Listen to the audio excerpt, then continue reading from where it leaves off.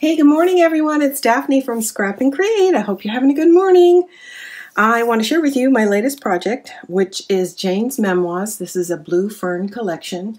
Before I get started sharing the inside of the album, I want to let you know I did something a little bit different on the tutorials. So I have been wanting to go to um, uh, a crop retreat, which I did for the first time um, for one that I wasn't working at. So I went to a crop retreat this weekend and I finished this project and I recorded it while I was at the retreat. So in the tutorials, uh, not the walkthrough, but in the tutorials, you're going to hear a lot of background noise. Now I cut out as much as I could with software, but I think it's going to be pretty distracting. So I wanted to let you know ahead of time. You can go ahead and turn the volume off, and I do run the banners like usual. And also, there's a cut list in the description. So if you find the background too distracting, um, like I said, I did what I could with software. Um, I went ahead and released it with the audio, but feel free to, to just turn that off and use the banners and the cut list in the description. So bear with me on that. Um, I just wanted to make good use of the time while I was there, and I'm happy with the project as it turned out. So let me share with you what's going on on the cover. So I use three packs of the blue fern. There's 10 sheets per pack. So the base um, and then a layer above that and then a third layer, which are these three flowers to make this dimensional cover. Um, these are what's called bits and bobs um, and they come in a package that you cut apart. Uh, this is also a bit and bob. I also layered the title. This was like the signature page. It's just a spray of um, flowers. It's really pretty. There's our spine and the back. And if I hadn't mentioned it already, it's 8.5 by 8.5 by 2.5. Okay, so here's our inside liner. Um, I just uh, added this. It was cut apart from one of the 12 by 12 pages. You can see a little bit and bob peeking out right here. This is probably my favorite image. This is a 6 by 6 panel, and then this is a 5 by 7 So this lends itself to larger photos um, which I think is really pretty. I think I would probably leave this as is as a designer feature and then maybe put a 4x6 in here. You could even do a 4x4 on the side and still take advantage of those beautiful floral sprays.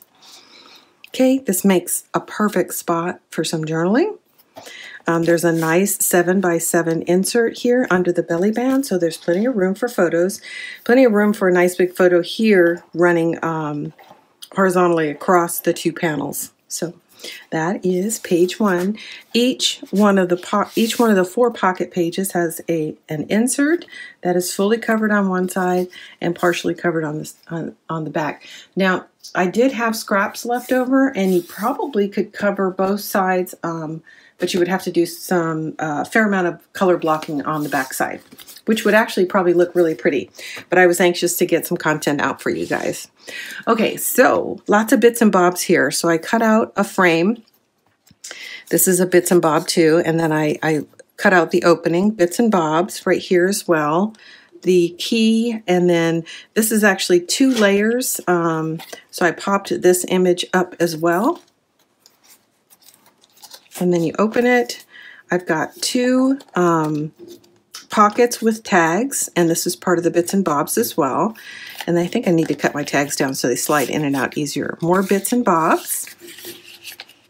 And they're um, just have a, a, pattern on the back. So if you decide you don't want to use the bits and bobs um, on a particular page, you can use the back side as just designer paper as well. So you've got choices. Here's another bits and bobs. And again, another large photo mat. this key I thought was so pretty. Bits and bobs. And so, so is the second layer here. Okay, and then I've got a tuck spot here, bits and bobs.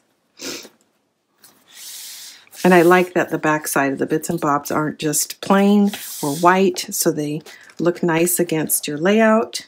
I've got a tuck spot here. Um, and a large cut apart and a tuck spot here with two tickets which were really pretty. Okay, page four and five. Again, another large photo mat.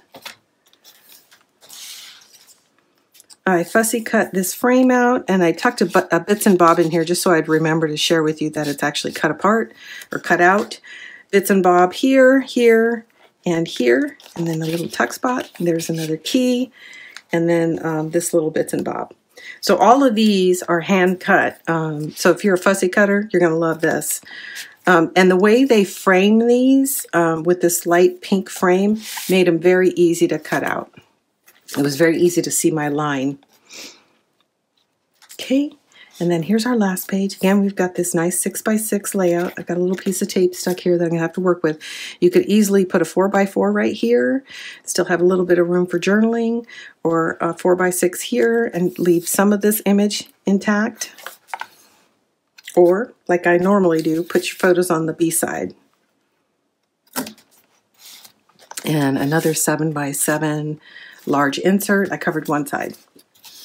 Okay, there is in the description, if you click the show more, the first thing you're going to see is a material list. So I did use three packs of the 12 by 12 and, and one pack of the bits and bobs. And um, I also go over some of my staples that I use the black cardstock, the tape, the glue, that kind of stuff. That's also there as well. If you um, scroll down beyond that, what you're going to find is the cut list. So as usual, I'm running a banner when I'm cutting, so you have that as well, but the cut list you can do in advance. This is very much geared toward beginner. Um, it's a very elegant album, but it was very simple to make. So thanks everyone for tuning in and sharing your time with us here at Scrap and Create. I hope you enjoyed this project. If you could take a moment to subscribe, you'll be notified of future projects. And if you could like, that goes a long way to helping us out with um, YouTube and um, it gets the YouTube algorithm to present us as a recommendation to other like-minded scrappers. So we really appreciate you taking a moment to do that. Um, again, this is Daphne from Scrap and Create. Thanks for tuning in. Hope you have a great day. We'll see you soon.